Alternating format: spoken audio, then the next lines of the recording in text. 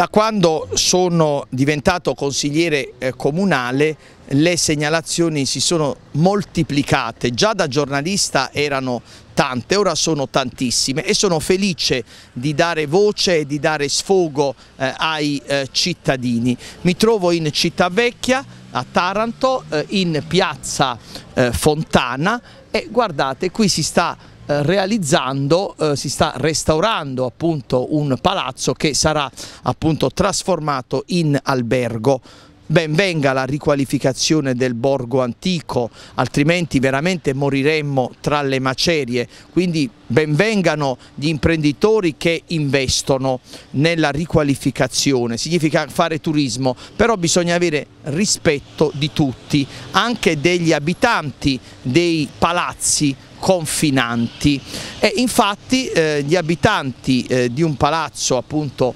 confinante con questo, eh, con questo albergo eh, che è in fase di costruzione eh, si sono lamentati del fatto che proprio la esecuzione dei lavori, eh, le varie impalcature, in buona sostanza eh, li hanno costretti a diventare carcerati, tra virgolette. Le varie strutture, appunto, le varie impalcature li hanno, hanno fatto sì che queste persone, eh, come dire, ehm, risultassero murate, chiuse in, in casa, eh, murate vive passatemi questa espressione certamente eh, così colorita, un po' esagerata, ma che rende l'idea di come questa gente si trovi letteralmente blindata. Io non metto in dubbio che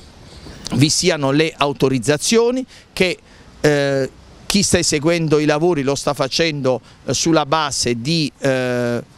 atti di eh, permessi leciti, però io mi domando e mi rivolgo all'amministrazione comunale su quale base, sono, come, per, su quale, con quale criterio sono stati dati questi permessi, si, doveva cioè considerare, si dovevano considerare i danni tra virgolette che eh, gli abitanti degli altri palazzi avrebbero subito, danni appunto consistenti nell'essere, nel trovarsi chiusi, eh, murati in casa. Ehm, nel momento in cui sto registrando pare che i lavori siano fermi, eh, pare che sia stato detto che eh, in un mesetto circa sarebbero stati completati, non so se è vero, non so se è falso, sta di fatto che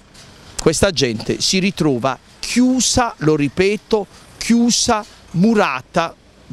viva in casa. E ora facciamo un tour, per così dire,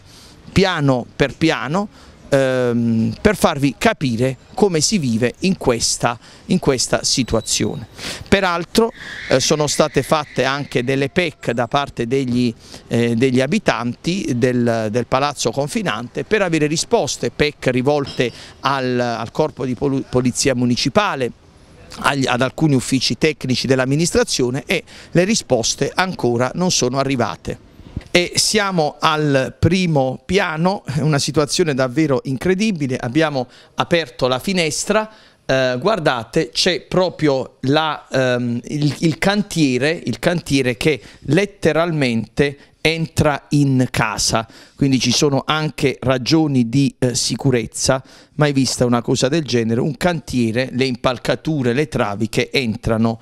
in buona sostanza in casa. E qui abita una signora che ehm, ha problematiche ehm, a livello cardiologico ed è eh, diabetica. Immaginate cosa significa per una persona che ha queste, queste situazioni vivere blindata viva eh, in, in, in un'estate davvero torrida. Ci siamo spostati al secondo piano, identico quadro, guardate altra blindatura, murati vivi an anche qui. La cosa assurda è che, vedete, qui c'è la caldaia, c'è il, eh, il, tubo appunto di scarico no? dei fumi, ma di fatto, visto che eh, in buona sostanza le strutture murarie hanno chiuso tutto, eh, hanno tappato tutto da tre lati su quattro, da, da, tre lati su quattro in pratica e i fumi non riescono come dire, a sfogare eh, perché è tutto chiuso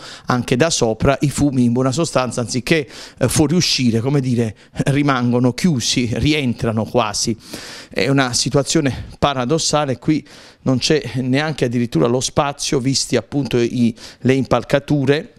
neanche per poter eh, stendere così gli indumenti, le robe. Eh, un, un altro quadro penoso e pietoso e neanche a farlo apposta qui c'è una persona che eh, è eh, cardiopatica, ha dei bypass e eh, ha problemi respiratori, tant'è vero che eh, fa uso appunto di ossigeno. E siamo ora sul terrazzo eh, così per così dire si avrà una eh, visione panoramica eh, di questo carcere, di questa eh, blindatura che è stata fatta. E quindi proprio si ha l'idea davvero di un fortino, passatemi l'espressione, di un bunker in cui eh, in buona sostanza gli abitanti del palazzo si eh, ritrovano. Qui peraltro c'è una struttura muraria che è, stata costruita e che proprio va a, ehm,